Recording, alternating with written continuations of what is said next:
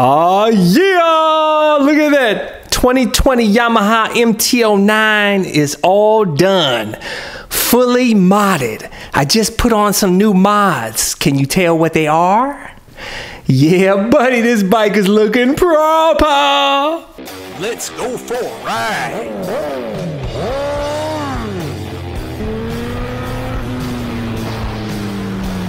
Watching CycleCruza's all on one motorcycle channel. Subscribe today. Make sure to visit cyclecruza.com and click on the menu tab My Videos, and those are a bunch of playlists with all my videos categorized in them to make it easier for you to navigate through.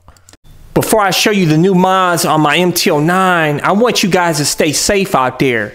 Make sure you get an airbag vest. This is going to help protect your spine, your vital organs, help stabilize your neck, keep you from having a real effed up day. I have a link to this one that I never leave home without in the description and comment section of this video, along with my other gear, like my most favorite helmet, carbon fiber helmet with auto tint shield, my motovlog camera, Sedici jacket, gloves, boots, all my gear. You know what, guys? I tell you, man, I got the two best motorcycles right here, guys. I, that, that's all I need, man, right here. oh my goodness, we got the torque bikes here. Boy, this is the wheelie machine here, my 2019 YZ450FX Custom Supermoto, which I did a full build series on. I have a video link in the description and comment section of this video. Oh, I love this bike, guys. I love this bike too, man. But this is my favorite, number one. Number two right here, guys. I tell you, I, I, oh, this is an amazing bike, man. It's got all that bottom end grunt that you want for the streets, you know, zero to 100. That's what you want, guys. I'm telling you, out here on the urban streets, lightweight, what when it's mod, it's like what 410 pounds or something like that. In my opinion, I like this better over the MT10. It's better looking, it's lightweight. Um, it's got all the grunt down low, sounds amazing. You get that nice, beautiful triple cylinder engine everybody loves on this bike. But anyways, can you see the new mods I did on this bike, guys? Can you see them? None of them big, ugly orange stock turn signals. Look at these. TST Industries. And this has the uh, running lights on it. I'm going to show you here in a second. Let me turn the bike on so you can see what it looks like. All right, see, it's got the daytime running lights on there. You can get in different colors, by the way. I have a link to all the mods that I did on this bike in the description and comment section of this video. Or you can go to my website at cyclecruza.com and click on My Mods. Okay, let's, yeah, look at that. Nice and bright. Look at that, it looks good. Yeah. Yeah, buddy. Also, check it out added the license plate light. I did a how-to video on this. It'll be coming up soon, so stay tuned for that. That's looking proper now. Now I don't have to worry about riding at night and getting pulled over by the police. So we're all good, nice and legal. Of course, I got the I did this before, the fender eliminator kit, which I did a video on, by the way, with the TST Industry tail light with integrated turn signals. See there? Look at that, looking proper. And also when you hit the brake on this, check it out. When you hit the brake on there, look at that. Yeah, modulates. Help keep you safe. So the car is behind you, it gets their attention. Help keep you safe. Yeah, buddy. And of course, you know, the other mods that I did on this bike, previously I put on the Sargent aftermarket seat that has the toolbox, uh, storage box underneath, and it comes with a flashlight. Pretty cool, looks cool, makes the bike look even better. But the best mod that I did on this bike, guys, which I recommend everybody do, especially if you get a 2017 and newer MT-09, is you got to put the full Akrapovic exhaust, guys. I did a video on how to install this, so go check that. I have the video link in the description and comment section of this video.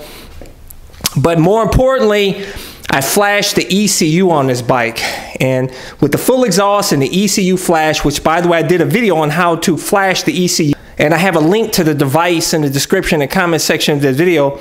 Very easy to flash the ECU yourself. You don't have to send it away and then you can't use your bike until you get it back and all that crap. No, you just get the ECU flasher, do it in less than what, in less than 10 minutes it takes? super easy, but I'll tell you, the bike is night and day better, man. Completely opens the bike up and absolutely awesome, guys. Oh my god! Uh, you can disable the AIS as well, so you don't even have to remove the AIS. Because before I disabled it, I was getting the backfire sound, which some of you guys like, but it's kind of annoying to me. Oh my goodness! Oh, I don't like that decel pop. And of course, I got some other mods here, like the GoPro Hero camera mount. Awesome. Stays on there solid, never had a problem. And this phone mount here, which is really awesome, um, which you can turn it vertical or horizontal, as you see here. Keeps it nice and tight on there. I use my Waze app on there. Like I said, links to everything in the description and comment section of this video. See, that looks good, nice and clean. And um, to be honest with you guys, that's really all I wanted to do to this bike. I don't I don't want to do anything else. I'm not like you guys and just pour a bunch of money, you know, into the bike. To me, it's it's stupid to put on uh, you know, levers. These levers work just fine.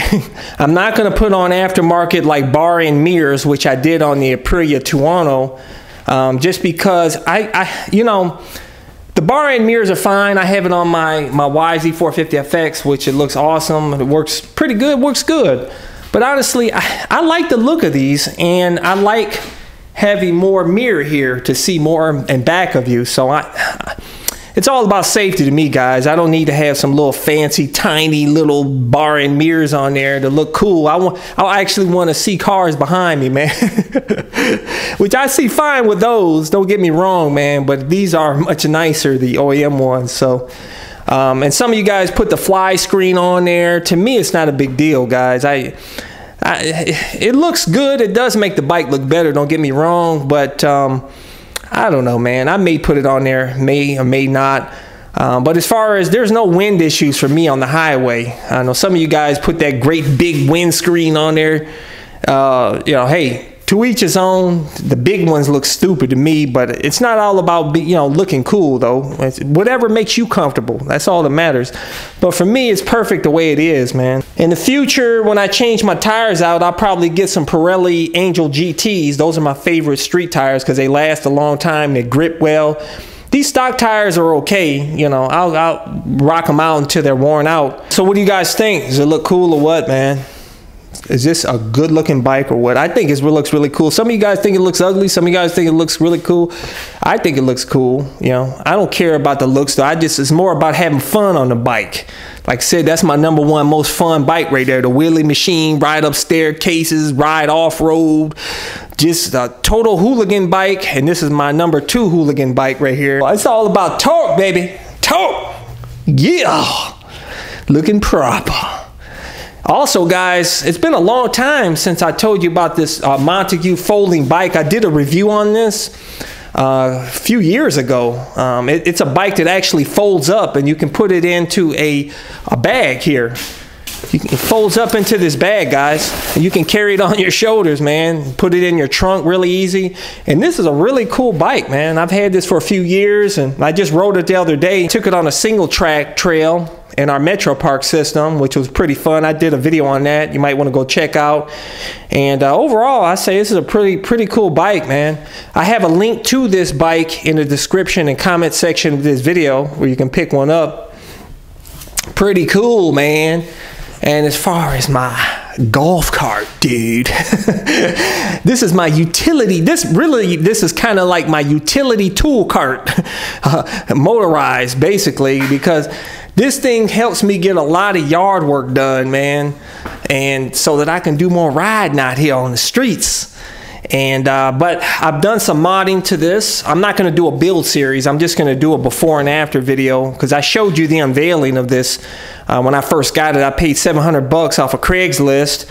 And I just put some new mods on here. Just put this new roof rack on here, which I customized the fit on here.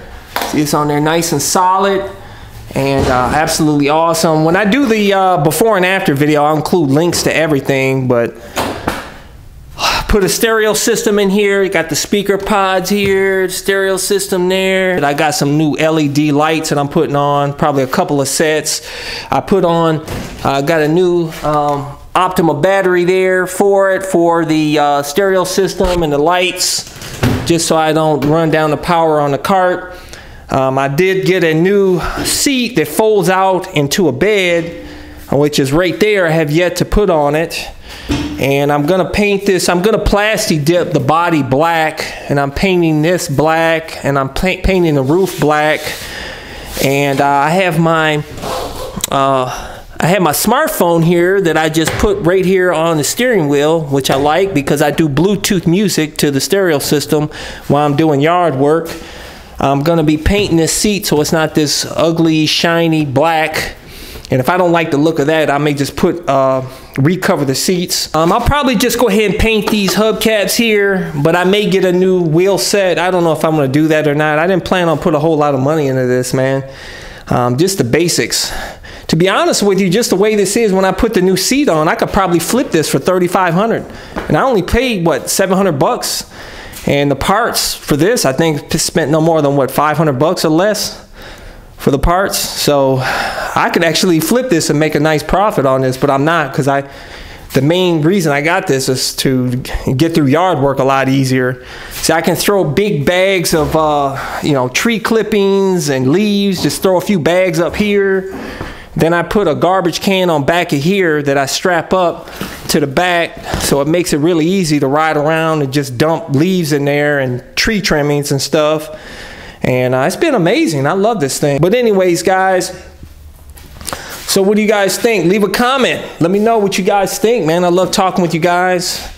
Appreciate all you guys. Uh, don't forget to subscribe to my all-in-one motorcycle channel. And also go check out my other channel, Bug Out Moto. Deuces. Thumbs up. Check out my playlist for new riders and popular videos. Don't forget to comment and subscribe and check out my other channel, Bug Out Moto, where I customize a van for my motorcycle so I can live in my van with my motorcycle and travel across the country anywhere. Subscribe to my YouTube channel, Bug Out Moto.